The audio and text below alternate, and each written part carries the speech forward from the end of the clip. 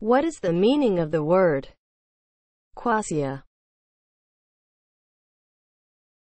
as a noun?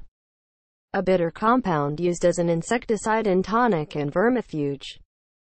Extracted from the wooden bark of trees of the genera Quassia and Picrasma. Handsome South American shrub or small tree having bright scarlet flowers and yielding a valuable, fine-grained yellowish wood yields the bitter drug quassia from its wood and bark.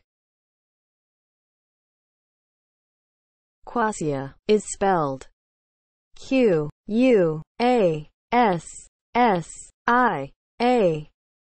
Quassia